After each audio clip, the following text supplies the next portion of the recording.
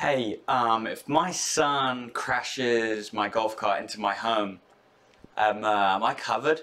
I'm just, just asking for a friend. So, if you have a golf cart at home and someone accidentally drives it into your home, are you covered? In this video, we're going to talk about different scenarios that come into play and see which insurance products are going to pick up the damage.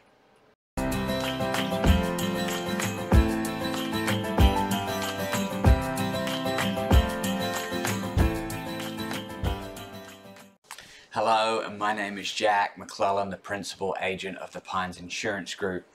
So today we're talking about if a golf cart crashes into a home, or say your golf cart crashes into your home, do you have coverage and where would that apply?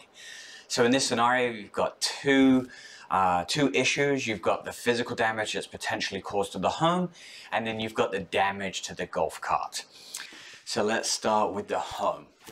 If you have a homeowner's policy, you will have coverage to the golf cart crashing into the building and causing damage to the physical structure.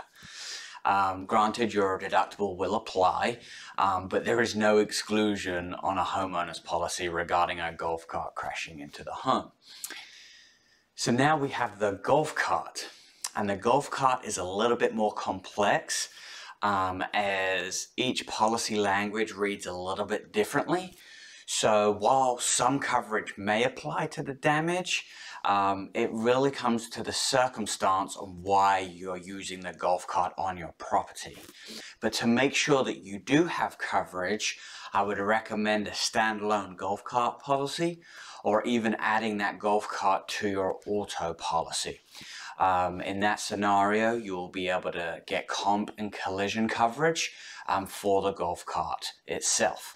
so in summary, if a golf cart crashes into your home, you have coverage for the physical dwelling under the homeowner's policy with a deductible that would apply.